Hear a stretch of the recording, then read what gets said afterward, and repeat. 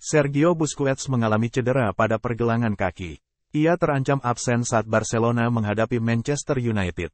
Barcelona mengalahkan Sevilla 3-0 pada laga lanjutan Liga Spanyol di Stadion Camp Nou, Senin, tanggal 5 Februari tahun 2023, dini hari WIB. Tiga gol El Barca lahir melalui Jordi Alba, Gavi, dan Rapinya. Hasil ini membuat Barcelona kukuh di puncak klasemen La Liga dengan 53 poin. Mereka unggul 8 angka dari Real Madrid di urutan kedua. Namun, kemenangan Barcelona di laga ini memakan korban. Sergio Busquets mengalami cedera usai berduel dengan Youssef Nishri gelandang 34 tahun ini kemudian harus ditarik keluar ketika laga baru berjalan 7 menit. Ia digantikan oleh Frank Kessie. Hasil pemeriksaan mengungkap bahwa pergelangan kaki Busquets terkilir. Tes pada Senin pagi menunjukkan bahwa kapten tim Sergio Busquets mengalami kesleo ligamen lateral eksternal pada pergelangan kaki kirinya. Dia tidak akan bisa bermain hingga pulih.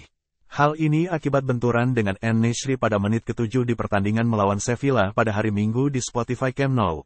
Sang gelandang harus keluar lebih awal dari pertandingan, bunyi pernyataan Barcelona. Busquets diperkirakan bakal absen hingga akhir Februari akibat cederanya tersebut. Pemain asal Spanyol terancam absen di empat laga Barcelona, termasuk dalam duel menghadapi Manchester United di babak play-off fase gugur Liga Eropa.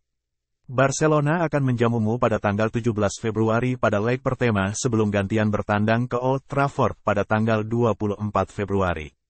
Absennya Busquets bisa menjadi kehilangan yang cukup besar untuk Barcelona. Pasalnya, ia nyaris tak tergantikan di lini tengah. Busquets hanya dua kali absen di La Liga musim ini.